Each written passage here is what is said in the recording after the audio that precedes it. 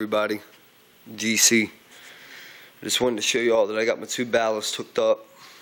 They're hooked up to uh, just normal extension cords um, they're both 142 watt ballast.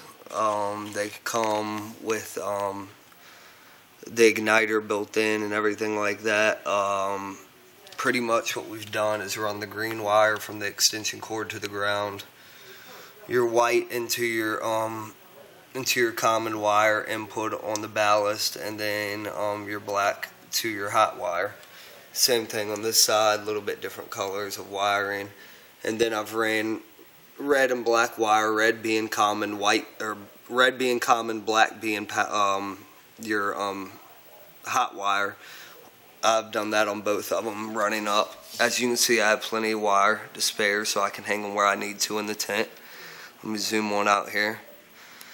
And um, then they're hooked to two homemade cool tubes, like such, just using the stock adapter or the stock um, mount that came with it. This one has a little bit of an extension on it that I fabricated on there.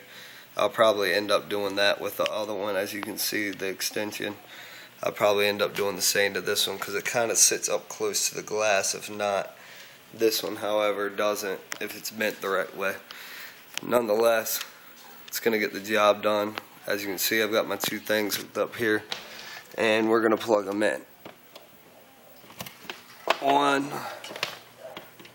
two.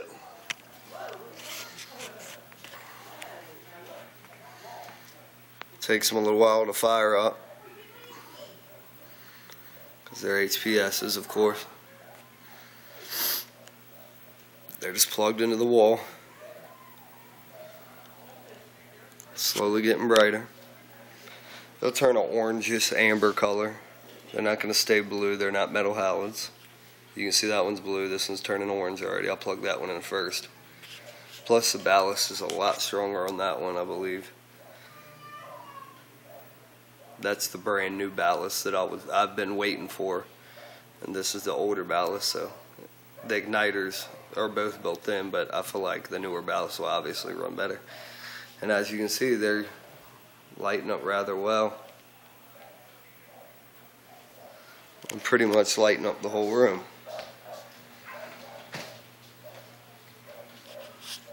Super bright, huh? Now, hang this over a plant. You can see the light off the wall.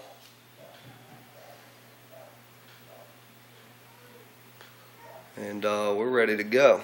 All I need to do now is get my um my four to six inch ducting or three to six, whichever it may call for. It's just a splitter. It's an adapter splitter. And that's how they'll kind of sit in inside of the reflector will lay across the top of it. Plant will be underneath of it. I'm going to fabricate the reflector in. Um, one tube will come out here, another tube will come out here into the adapter, which makes it into one six inch tube, which then will have flex piping that goes up and up into the fan. So the air can constantly pull through these. Because as you can see, they're hollow all the way through.